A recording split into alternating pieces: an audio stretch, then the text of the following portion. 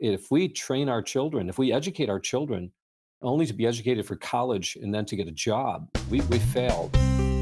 Hey everyone, this is Yvette Hampton. Welcome back to the Schoolhouse Rocked podcast. I am so glad you've joined me today. I have a really, really exciting guest on this week, and I know you are going to be so greatly encouraged by him. But before we get to our guest, I want to thank our sponsor, CTC Math. If you're looking for a great online math curriculum, go to ctcmath.com. You can do a free trial of their math program. You will not be disappointed. Try them out, ctcmath.com. Well, we have a very exciting guest on today. His name is Dr. Mark Hamby, and I know that he is familiar to so many of you because if you have been introduced as a homeschool family to Lamplighter Ministries and their amazing resources that they have, you've certainly heard of Dr. Hamby. And this is one, you know, we for years and years and years I've heard of Lamplighter Ministries and Lamplighter books and Lamplighter drama, uh, their drama series and all the things that they have. And I had never heard them until recently. Well, listened to the drama series and and gotten my hands on their books. And let me just tell you guys, they are absolutely amazing. And we are so honored to have Dr. Hamby with us this week because he's going to talk to us about reading and the importance of the things that we're putting into our minds as we read. You know, of course, the most important book that we read is the Word of God. That's where everything starts. But as homeschool parents, we have an opportunity to feed life into the minds of our kids through literature and through production of different uh, audio dramas and things like that. And so I want to introduce you to Dr. Hamby. If you don't know him, um, he and his wife are the executive producers of Lamplighter Theater and Lamplighter Ministries. They have two over 235 books from the 17th to 19th century literature. And um, I think I want to say over 28 audio dramas. Is that correct? Mm-hmm, 30. Mm-hmm. 30. You're at 30. Wow, that's incredible. Um, welcome, Dr. Hamby, to the program. Thanks, Yvette. And you can call me Mark. Mark, I, you know, it's funny. I asked you that before the show. what do you want me to refer to you as? And then for some reason, it just seems natural to call you Dr. Hamby. Yeah, that's fine. I will call you Mark. I know you've spoken at many homeschool conventions in the past several years. And so you know the homeschool world really mm-hmm. well and you have a heart for homeschool families. Mm-hmm. So I would I want to kind of jump off on that note and tell us how you got involved in the homeschool world. Well, I came to know Jesus as my savior at 22 years old. I was a non-reader. Um, I I hated to read. Uh, reading um, felt like throwing up to me. um, went to college, went through four years of college and switched my majors um, six times. Uh, senior year of college, I came to know Jesus as my Savior. And in that, uh, at that moment, um, going back, I was going back to my senior year. I knew exactly what I wanted to do with my life. I wanted to be a teacher. And I had to go two extra years uh, to college during that time. And in the as soon as I finished, I became the uh, principal of a Christian school.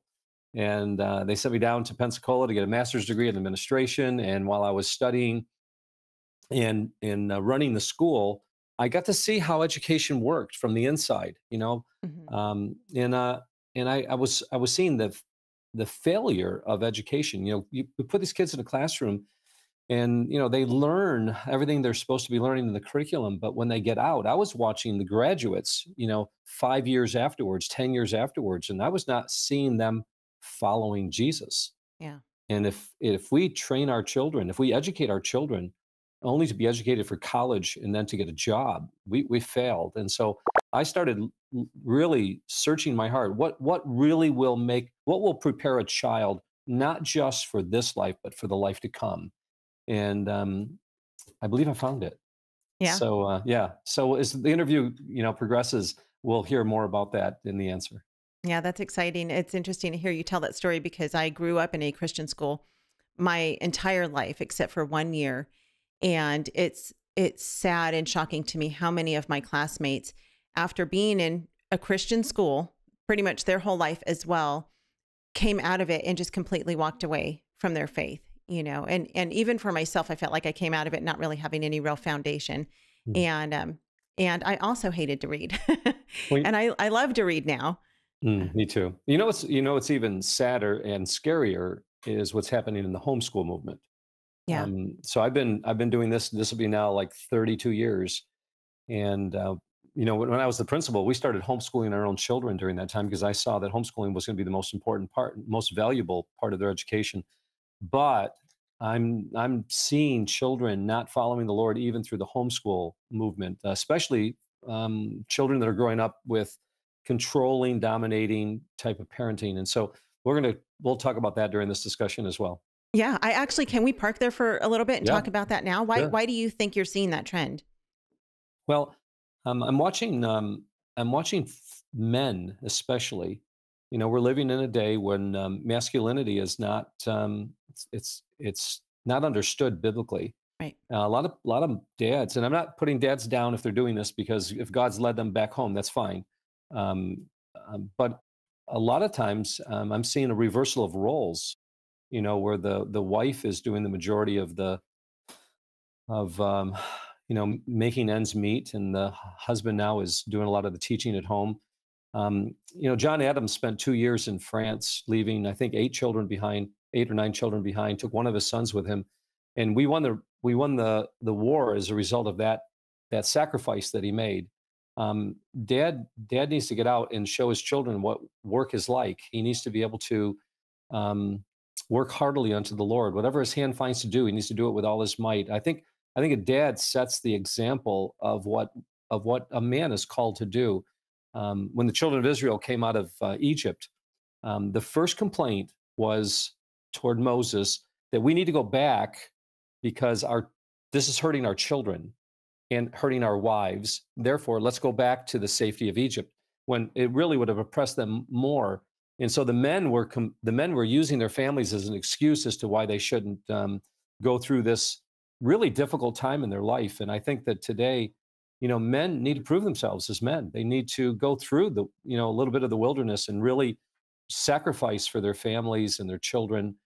And um, it takes it takes a lot of sacrifice. Some men need to go back to school. Some men need to take that second job. Some it's it's not always about being at home, even though I, I love that. And I and I, I think we need to work toward that. God will give that reward. You know, following Jesus, you know, Peter was married. You know, Peter, come and follow me. But I got a wife at home, you know, but follow me, you know, and uh, Peter wasn't always at home. He had to do some, he had to sacrifice. Uh, and then he had to pay his taxes, you know. And Jesus said, "Go find that fish, and I'm gonna, you're going to find a coin in it. Go pay your taxes," you know. so uh, there's not everybody is called to do this, but we're called to be kingdom warriors. Men are. Mhm. We're kings, prophet, priests, um, servants, and whenever that pillar gets out of balance, um, trouble arises. And I think the the ones that that lose the most are our children. They're watching the way a man is supposed to be, and um, men are supposed to be kings, warriors. Um, they're supposed to be the high priests, and they sacrifice. And so I'm, I'm trying to bring that back into our culture, especially in homeschooling, so that um, so that men are doing what God's called them to do. And, and it may be at home, but Sure. we can't use our home as an excuse not to do the things that God's called us to do. Right, right. And we need to be raising up young men Yeah, to do that as well. absolutely. And Yeah. that's hard to do um, in our society today. And I want to talk more uh, about that, but let's first take a quick break. What we do at IEW is break through the the noise of the grammar and the writing prompts and we say this is what you do step by step. And I've witnessed it over and over again both watching Andrew teach and hearing from parents this is the best writing program. We've made it so easy and made it really affordable. So any mom can teach writing to their children using our course. And we guarantee it. To try three weeks of free lessons, visit IEW.com.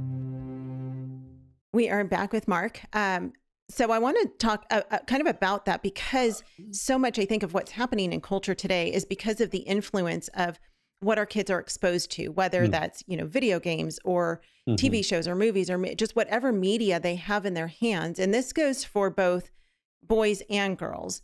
Mhm. And the stuff that we're putting in front of our kids is influencing them you know, beyond what we were influenced, I think, when we were growing up, because we didn't have access to all of these things, of course. And um, so how how how can we shift that paradigm of Mhm. Taking question. kids from what they have today and bringing them bringing them back to God's design for the family? Great question. Easy answer. Um, first, I'm going to tell you about a study that was conducted in Canada, I think in the 60s, if I'm not mistaken. Um, a little little town, I think of about 2,000 people. Again, don't hold me to the statistics. It's been a long time since I read about this. this uh, I think I put it in my dissertation. And uh, they removed all media influence in the entire village for approximately five years. Um, so all the children in school, church, home, there was no media influence whatsoever. And they compared the children in that village to a children that was highly dominated by media. And they found at the end of the five years that the children were absolutely no different. Wow. Isn't that amazing? Yeah. And I'm like, you got to be kidding me.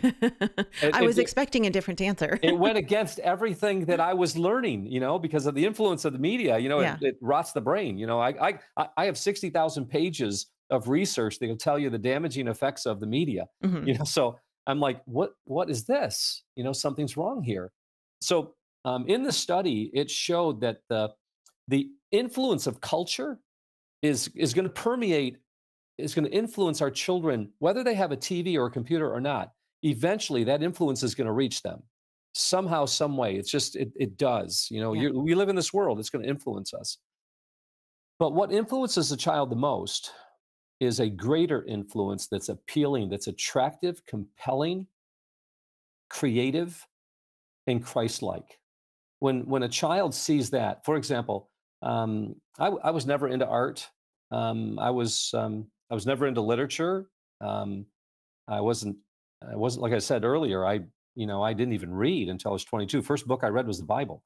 I read it ah. from Revelation to Genesis. I I couldn't put it down because I was reading the very words of life for the very first time in my life. And, yeah. and the reason that I hated to read was because I had a very low level of character and I had a very low level of comprehension. When a child is lives in a in a in a fear state, um, a low level of character will always create a high level of fear. When you have a high level of fear, you generally have a low level of character and comprehension. They go they go hand in hand. Interesting. Yes. So when you're when you're confident, um, you know, you usually have a little bit higher level of character and you have a soaring level of comprehension. The smarter kids are the ones that are a little bit more um, secure in who they are. Um, mm-hmm. So for me, I was a very fearful person very low level of character, low level of comprehension. So in school, I always had to be the teacher's pet so that I could have my security by them liking me so that when I had to go for extra credit to get my grade up, they always gave it to me. And so I, I got through high school and college in that way without ever reading a book. Wow. You know, you know so but but that takes a lot of effort. Yeah. You know, to do that. And eventually you're going to get caught. Eventually people are going to find out who you really are. Mm-hmm. So there I was at 22 years old, I had, you know, my senior year of college, I didn't know what I was going to do with my life. I'd already switched my majors six times. And my life was, for the most part, worthless, you know, because I wasn't going anywhere. I didn't know what I wanted to do with my life. And then I got saved. I mean, I got saved like Pilgrim's Progress, better than Pilgrim's Progress. I saw the world in living color immediately. It was wow. incredible. And and words became important to me. And the first book that I read was the Bible. I read it from Revelation to Genesis. I couldn't put it down. I was reading four to six hours a night for two two years. Wow. I and it's the only book that I read during this time until Charlie Tremendous Jones gave me a book, um, 12 biographies. I started reading them. D.L. Moody, George Mueller, Hudson Taylor, Amy Carmichael, Gladys Aylward, Abraham Lincoln uh, John Huss, I couldn't put them down, you know, and I'm like, whoa, this is like the world just lit up. It, uh, yeah. The lights turned on for me. And so that was the beginning at 22 years old. I, I not only got saved and I was born for the first time in my life, but I had vision now and my comprehension started to soar because my character started to grow. I started to realize there are certain areas of my life that needed to, you know, I was a born liar. I was a good storyteller, but a born liar. So that was one of the first things God had to deal with was he had to change the lying character to speak the truth without fear. Mm-hmm. You know, so God dealt with fear and lying and truth all at the same time. That's the first lesson I learned at age 22 after I got saved. And as soon as that happened, I couldn't put books down. And and the, the, not only could I not put them down, but they started giving me creative vision for what the future would look like. Yeah. And uh, so so back to the original question of why children, um, what can we do with our children that are being influenced by the media? They're going to be influenced by it. There's nothing you can do about that. You can take everything away from them. That's not going to change their heart. Now, I'm not mm-hmm. saying you should let them watch things. You know, we, Right. need- we, we need to guard our eyes. David in Psalm 103, 101, 3, you know, talks about, you know, that I will guard my eyes, you know, because what we see will affect our heart and Right. eventually change our character. You know, so that's a given. But we need to be in love. When I, not only was I getting a vision from what I was reading, but then I started to see beauty for the first time. So um, seeing like a Rembrandt painting close up Mhm. for the first time, I cried. I cried when I saw the color green. I've never seen the color green like that ever expressed before. When I started seeing beauty in architecture, beauty in the rainbows, beauty in the sunsets, I started seeing, I started developing a theology of beauty. And all of a sudden, I wanted more of that. And then I started seeing it in God's word. Then that's when everything clicked. I started seeing the beauty of God's word, not just what was written, but how it was written. And as I started becoming more uh, engrossed in the Word of God, I, I started to really dive deep in the Word of God. I mean, Yvette, I don't, I don't know if you could understand this, but I was blown away at what's in this, what's in this book. Mhm. I'm blown away by it. This was 40 years ago. I'm still blown away by it. I'm still finding it never gets old. There's Yeah. And so when you when you fall in love with beauty, when you fall in love with creativity, when you fall in love with the God of the universe, and He becomes first and foremost, and children see moms and dads having a relationship like that, that will influence them more than than media Yeah. and that's what that's what has to happen mom and dad you know and our children they have to fall in love and grow in um, in be intimately in love with this god of the universe who wants to be intimately in love with us he's cr- by the way he's crazy in love with us Yeah, I love that. You know, it's interesting as I'm think I, I'm a very visual person, and so whenever I read a book, I visualize everything that's Yeah, happening. yeah. Which is why I love the Lamplighter um, audio dramas because I I literally feel like it's a like I'm in a movie. I'm Yeah. watching everything. You know, there's Yeah. the the music and the voices and everything, and and I feel like I'm there experiencing the story Amen. along with the characters, and it's so fantastic. It, which is even better than a movie because then I get to make up my own you Yes. know characters and environment and everything that's happening it's so much fun but what my one of my favorite authors of all time actually probably my favorite author author of all time is laura ingalls wilder i absolutely love the Uh-huh. little house on the prairie series uh-huh. because she's so descriptive and and and my thinking of course the reason i believe that she is so descriptive is because when mary became blind she had to become mary's eyes and she talks about Mm. that of course in the series. So she had to literally describe for her everything that was Love it. surrounding her. And when we learn to do that that's what we do when we read god's word right? Amen. Yep. And like you're saying it comes to life for us. And then that translates into books and all the other things that are part of our world even our own imagination right? Mhm. yeah. It just comes to life. We we get to experience god's amazing creation in a different way. But what's so cool is that's the holy spirit working in us Mhm. right Yeah, absolutely. You know, when we first started this, we actually made a movie. Um, I got an eighth of the way into the movie, spent fifty-five thousand dollars, and um, I was working on my dissertation at the time. I was taking um, taking classes for my doctorate, and I started reading how damaging, literally, anything you watch, anything. Okay, it could be Jesus of Nazareth. It's harmful to a child's brain. Okay, because what a child is watching, they're seeing it through their eye gate, goes immediately to the brain Mhm. and they're watching things in two to four second increments. That's what's causing the ADD type of phenomenon right now. They're starting to think in two to four second illogical, disconnected thought patterns because of what they watch. The United States Army did this in the 1940s, when putting strobe lights in front of um, some of the soldiers, and they would attach the, um, you know, the, the electrodes to their heads, and they would do the EEGs, and they would be able to to graph the brain wave length activity. That same that same um, technological phenomenon is what we use in television or computers today. And so when children are watching something anything it doesn't matter. Whenever there's this transition of two to four second increments it's programming the way a child thinks. And so that's why it's so dangerous. And so when i as soon as i was i'm in the middle of producing this movie and i'm like I got to stop. And I canceled the movie, spent $55,000, Wow. canceled it. The actors, producer, directors were livid with me. They were like, What do you mean? You can't do this. I'm like, yeah, I can do it. I'm the one that's paying for it. I'm doing it. So that got scrubbed. And then I started realizing that faith comes by hearing, hearing by the word of God.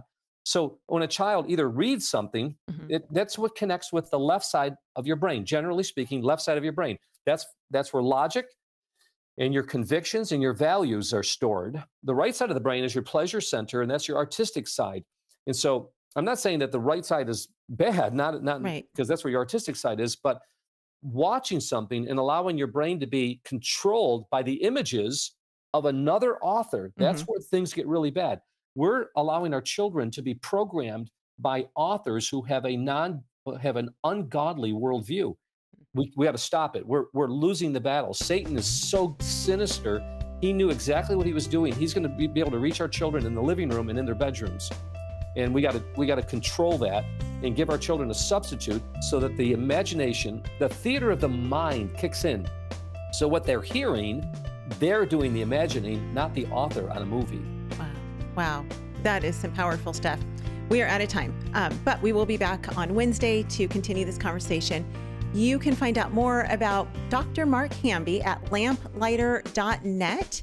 Um, or what's what's your other website, Dr. drmarkhamby.com? lamplighter.net. Just lamplighter.net. Go to, lamplighter.net and then they can do a search for us or call us toll free 1 888 the letter A gospel and uh, they'll guide them and send okay. them a catalog. Oh, sounds great. All right, we'll put those links in the show notes. Thank you guys so much for joining us this afternoon. Please be sure to share this podcast with a friend. We will see you back here on Wednesday. Bye. We know that we are called to put on the armor of God. So we are teaching our children to be salt and light in the world, but we're not putting our children out onto the front lines of the battle until they're ready. We need to look at our children and realize they can't be salt till they've got salt. And if the salt's contaminated, then it's no good for anything. That's what the scripture says. And they have to remember that because of our sin nature, it's more likely the culture will influence our children rather than the children the culture. So how can we send them out into the world until we have prepared them? You don't send a knight out to fight until he's prepared with all the armor that he needs. So the front lines really in the culture right now, what is up for grabs in the culture? It's truth. Truth is what's in the crosshairs right now. And until our children are steeped in truth, until they know truth, until they can defend truth, we would never put an, a defenseless child out on the front lines. And education is a frontline battle. It is not a sideline battle. It's not something that's happening in the periphery of our lives. This is happening in the culture in real time. This is the front line of the culture. This is where the battle for truth is being fought, and it is where the battle for truth is being lost.